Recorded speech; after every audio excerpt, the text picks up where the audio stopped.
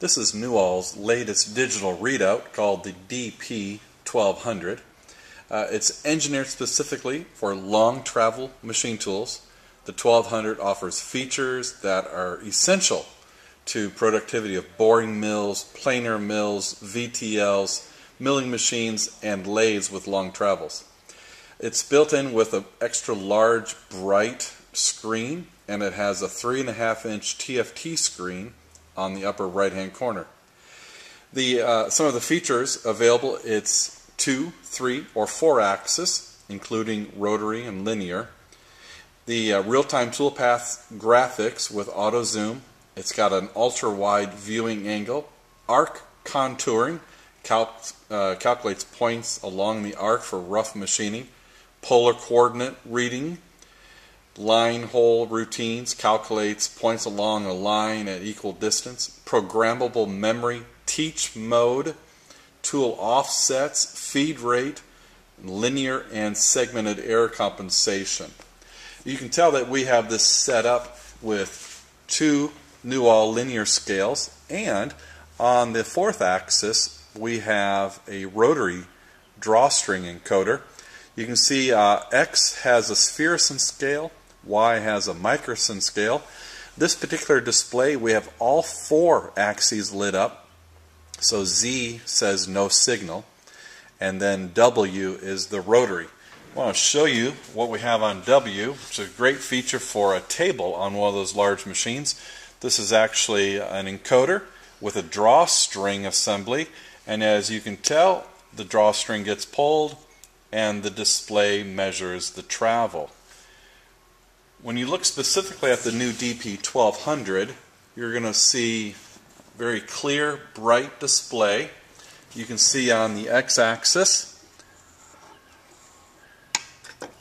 the y-axis, we can simply clear them out.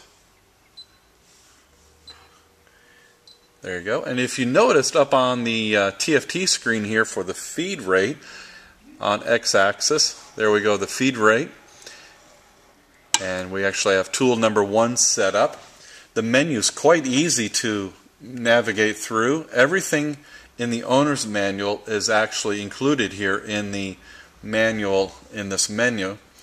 You can see you got tool offsets, vector, PCD, which is a bolt hole, uh, bolt hole circle pattern. You got line hole pattern, arc contouring, skewing, uh, skewing uh, datums, uh, data logging, and then general setup. Under setup, if you go to push number 9, it's going to be passcode protected. So we put in the passcode and it unlocks the setup features. You can set up access 1, 2, 3, and 4, or you can go to the general setup, language, application. We can push number 2 for application, and you can check mill, lathe, or generic. Um, plain axis uh, coupling, uh, probe diameter, uh, the, the setup of the beep. Every time you push a button, it makes a beep. The L LCD brightness. And go back again. Let's say under axis number one, we can set it up.